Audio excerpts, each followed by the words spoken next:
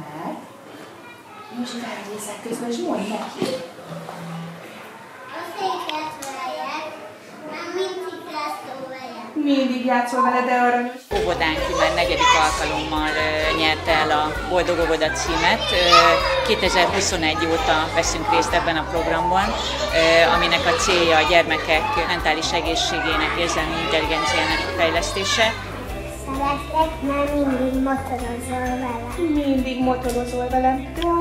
Több csoportunk is részt vesz ebben a Boldogságúra programban, ami nagyszerű eredményeket hozott. Minden hónapra van a szocializációt és az érzelmi intelligenciát fejlesztő tematika, a hála vagy az optimizmus fejlesztése, vagy a jó cselekedetek felismerése, és ezeket a kicsit megfoghatatlan és a gyerekek számára nehezen érthető és nehezen megélhető problémás helyzeteket segít ez a program feldolgozni, és remélhetőleg egyre többen tudnak majd csatlakozni, a szülők számára is van lehetőség a bekapcsolódásra és az otthoni gyakorlásra, folytatásra, és ennek következtében reméljük, hogy boldogabb gyerekek és boldogabb családok lesznek a jövőben.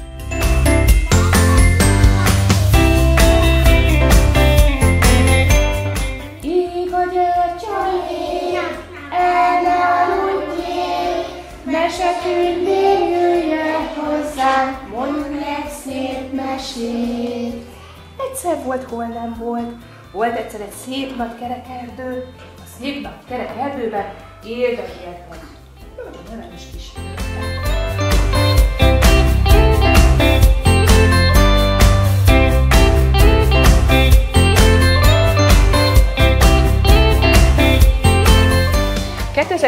ben indult el a, a Boldog Óra programsorozat, majd ö, olyan sikeressé vált ez a programsorozat, mára már 2024-2025-ös tanévre 1500 intézmény csatlakozott a programhoz. Mi a kolléganőmmel idén már a harmadik éve tartjuk a Boldog Óra foglalkozásokat óvodában. A programhoz csatlakozott 2016-tól professzor dr. Bagdi Emőke is, aki a módszertan kibővítette és tudományos háttérrel igazolta a boldog óráknak a pozitív gyermekekre gyakorolt hatását. Ezek a, az órák, ezek fejlesztik a gyerekek önbizalmát, segítik, hogy minél többféle fogalmat megismerjenek, és boldogá válnak, kiszélesíti a, a boldogság érzetet.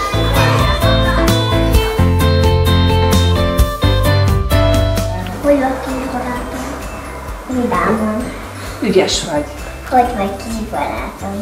Boldogan. Szeptembertől kezdjük a foglalkozásokat, 10 hónapon keresztül. Minden hónapban más a témakörünk, például a megbocsájtás, a hála, az optimizmus, társas kapcsolatok, apró örömök az életben. Minden hónapnak van egy szimbóluma, melyel a gyerekeket tudjuk ösztönözni, hogy folyamatosan figyeljék a boldog várunkat. Tíz lépcsőfokunk van, szeptembertől indulunk, és június végére elérünk a boldog várhoz.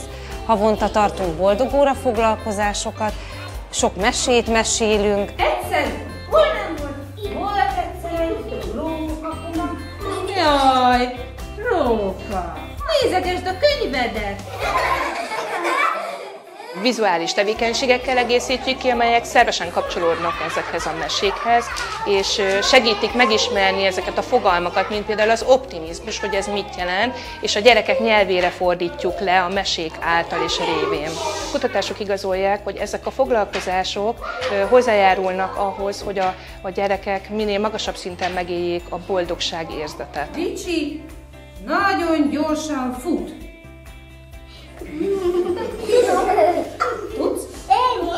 A változás érzékelhető a gyerekek körében, nagyon szeretik ezeket a foglalkozásokat, és most már egyre sűrűbben hallani közöttük így játék közben is, amikor használják a, például a hála fogalmát, mert hogy megértették, hogy mit is jelent az, és haza is szoktuk adni, továbbadni ezt a témát a szülők felé, és megkérni őket, hogy ők is csatlakozzanak be, és beszélgessenek otthon erről a gyermekeikkel, hogy ki miért hálás és miért hálás, csak hogy egy témát kiragadjak a tíz közül. Próbáljuk fel ezt az optimista szemüvegünket, hogy amit elkészítettünk és gyönyörűek lettek, hogy milyen szépnek látjuk benne a világot.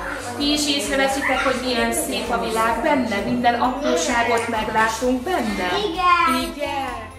Kettő könyvünk van, amiből dolgozunk, egy boldogságúra kézikönyv és egy munkafüzet. Ezekben megtalálható mind a kettőben az összes téma, témákhoz kapcsolódó mesék, meseajánlások, énekek, vizuális tevékenységekhez kiegészítő lehetőségek, és ezeket mi magunk is bővíthetjük, de ez egy alapot ad számunkra, és ebből dolgozunk. Távolabbi céljaink az, hogy minél többen tartsanak óvodánkban boldog órákat, valamint távlati célunk, hogy az intézményünk örökös boldog óvodává váljon.